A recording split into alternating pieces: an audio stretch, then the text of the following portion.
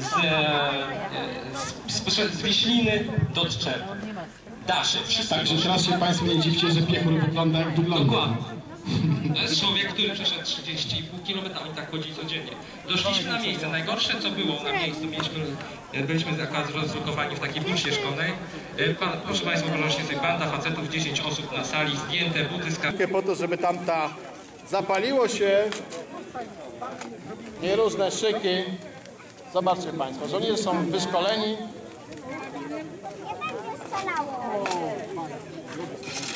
Stempel wchodzi do środka.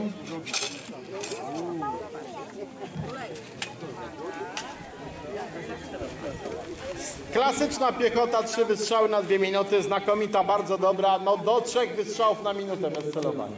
To już bez rozkazu, sam przyjdź, pokaż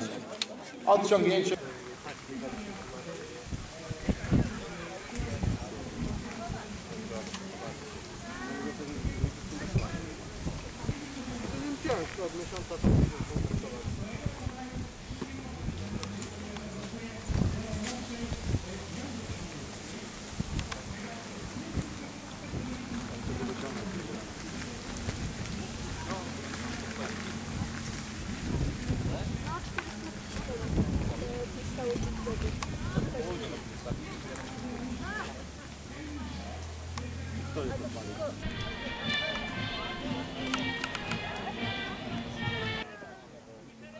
Przewaga. Tam jest bez dwóch zdań po, po stronie francusko-polskiej. Proszę zwrócić uwagę, praktycznie wroga piechota jest związana. Szaniec chyba nie ma szans. dekoracyjną odzież. Rzeczywiście kozacy byli kawalerią nieregularną, nie mieli przepisów mundurowych, w związku z czym zdarzały się pewne odmienności w stroju, ale z reguły byli oni wyposażeni w błyszczane szapy, szuby,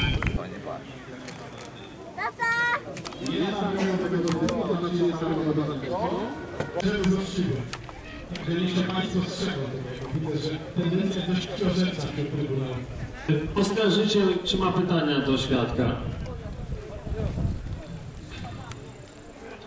Czy może być tak, że rzeczony Prusak łgał?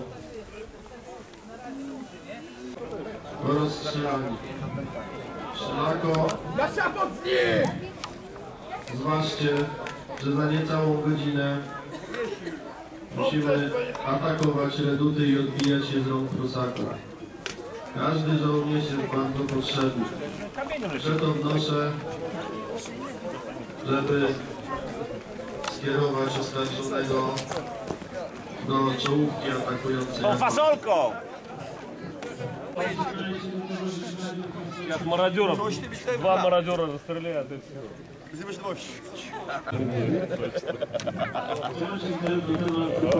Це якийсь союз тут вийшов. Союз. Слушай, я на войско, войско польське.